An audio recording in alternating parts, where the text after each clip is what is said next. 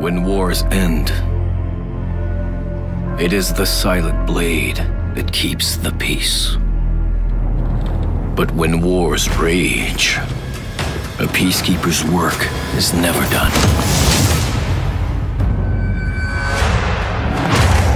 Quick, lethal.